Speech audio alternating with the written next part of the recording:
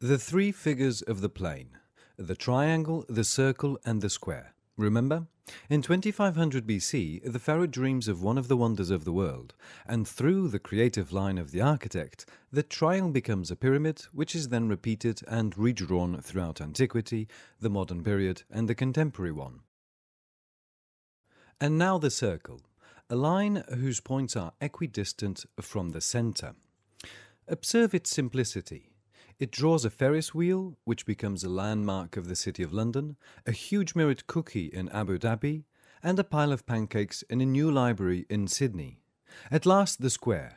In a tri-dimensional world, the square becomes a cube or a cuboid. These are volumes that, through the ease of their representation, celerity of calculation, and of execution, they yield the most common shapes present in architecture. However, architects' imagination didn't just limit itself to the basic polygons. Over time, architecture, geometry, and engineering weren't deprived of coming up with new shapes and setting new challenges of representation and calculation. To help us understand some fundamental curves, behold a right conical surface. This conic surface is built based on a directrix, the circle of the base, and on the geratrix lines. Let's now section it. Let's see. We position the intersecting plane. Let's start with a plane that will section all the geratrixes. We shall obtain an ellipse. If we straighten this plane, making it horizontal, we get a circle, which is a particular case of the ellipse.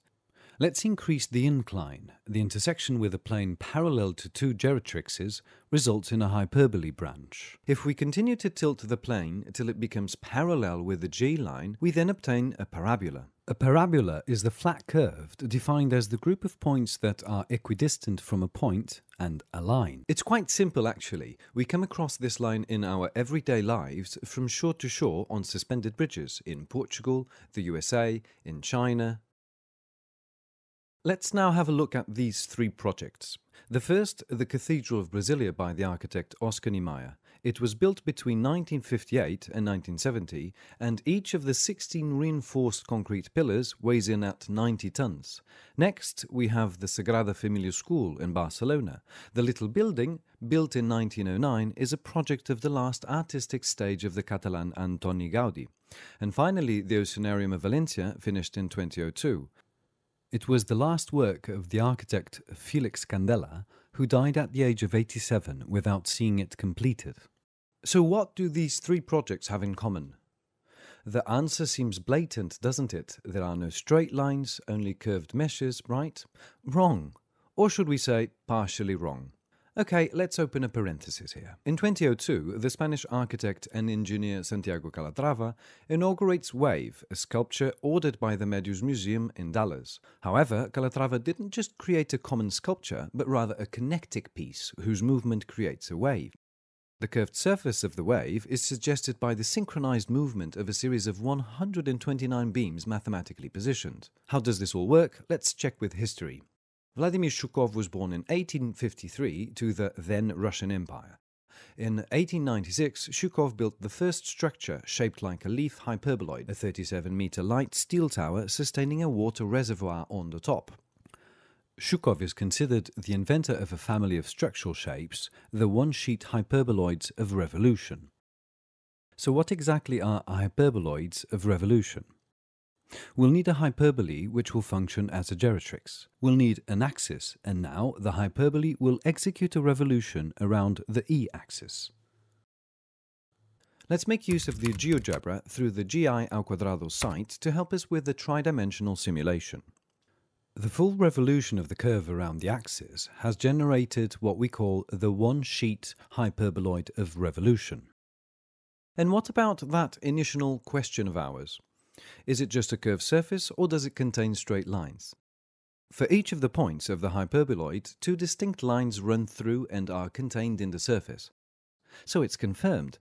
The one-sheet hyperboloid of revolution combines the curve-shaped with a twice-ruled structure.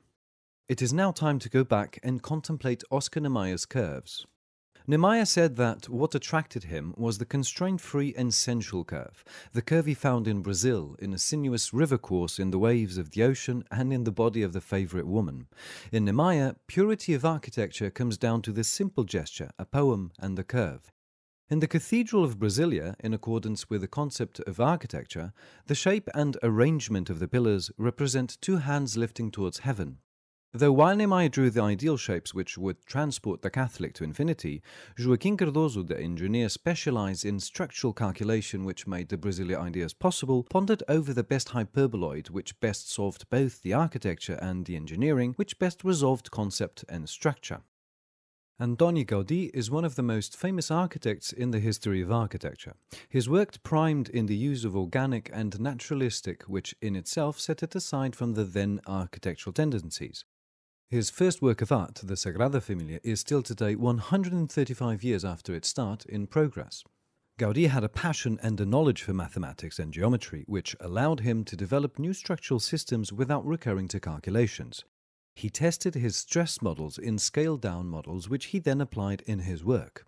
Gaudí was the first architect to use conoids in his work. Presently, and in his honor, they are called Gaudí ruled surfaces. Let's now explain how a conoid is geometrically generated. We shall use as the directrix a circumference D. We'll use a line segment E as an axis. And finally, the line G will be the geratrix and shall lean on the axis and the directrix, moving through them and generating the conoid.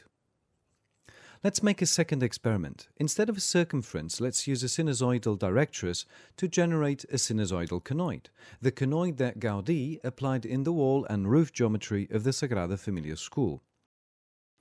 Felix Candela was born in Spain, but at 26 he leaves for Mexico, where he takes up double citizenship.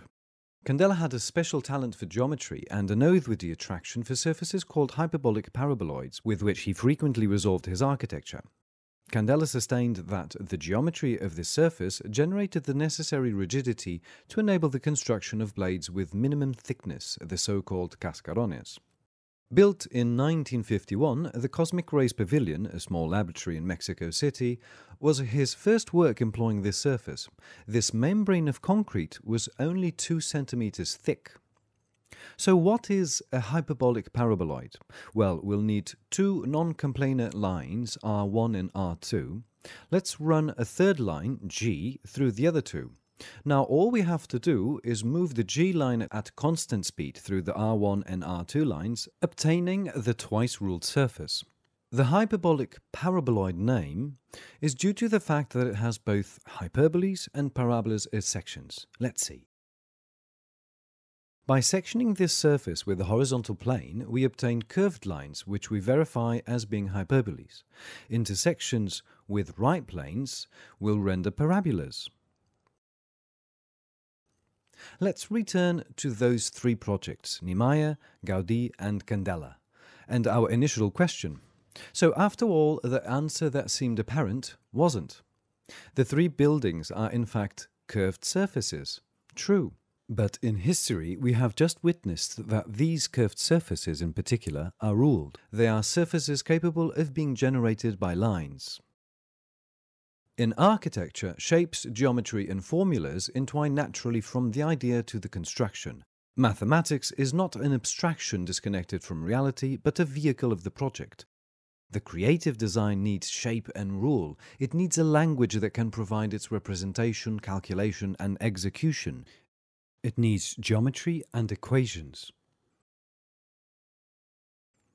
And now, why don't we go and have a look at the Geometria Intuitiva and Interactiva at gi2.pt and learn from these and other interactive models and games.